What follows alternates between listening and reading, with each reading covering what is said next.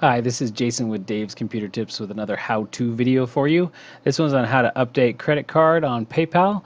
Um, my um, PayPal account told me that my card was about to expire and I thought I could show you how you can update your credit card on your PayPal account while I'm doing mine.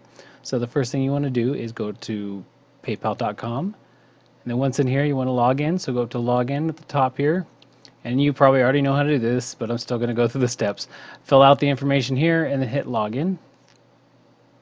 And then we're going to show up on our PayPal account here.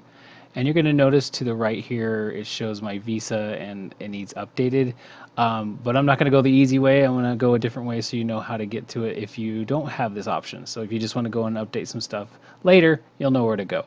So you're going to go up to Wallet and that's where all the money stuff happens. So you're going to look to the left under payment methods and you're going to see your balance and then your banking and then the card which needs the update has the red exclamation mark triangle. We're going to click on that. And then right here is your credit card information in the middle.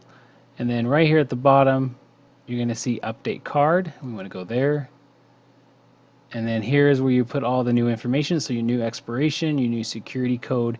And if you have a new billing address, you want to put it here too. Just fill this all out and then hit update card. And once you do that, it will be all complete.